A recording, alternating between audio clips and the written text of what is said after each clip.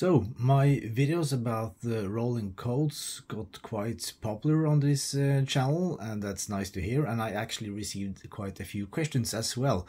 Uh, and one topic that I missed to have inside these videos was how to determine the security protocol. How do I know that my key fob or system had, for example, uh, the security 1.0 uh, system compared to others.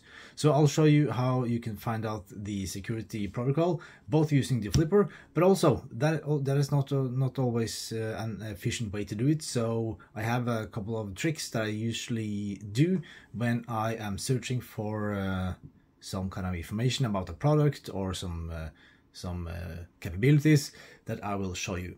So if you go into the sub gigahertz menu like here and then you go to the read option which is here and if you now press a button on your remote like this it says security plus 1.0 so it works for this control let's try another one I have this blue one as well. Let's press a button on this.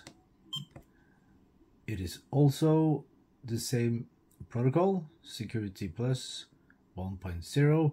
And unfortunately, I do not have uh, many more remotes. I have one more in my car, which is from this photo. Uh, and this is not supported, so I do not know the security protocol of that one. Um, and I wish I had more so I could try security plus 2.0 and so, but uh, I do not have that. So what to do when the flipper cannot give you more information? Well, one trick that I usually doing is to take a picture of the device or product. This could be for anything. And I use Google Lens for searching for that same product and it will give you more information. You can, for example, like this, go into eBay and eBay is a good source because it will give you more information about um, the same product that you have, uh, maybe the pictures of the back side, the front side, uh, maybe some product's number, maybe your label has been removed on your device, and so on. And one interesting thing that I saw on eBay, uh, on the, for example this um, remote control, is that it has some some color codes about the learning button and the and the um, the LED. And looking back to my own garage opener, I saw that my LED was uh, orange one. So Googling a bit more about this, I discovered that there are actually different color codes for this. So maybe this is not for all garage opener, but at least for um, products from Chamberlain or Liftmaster, it seems like this is some kind of standard.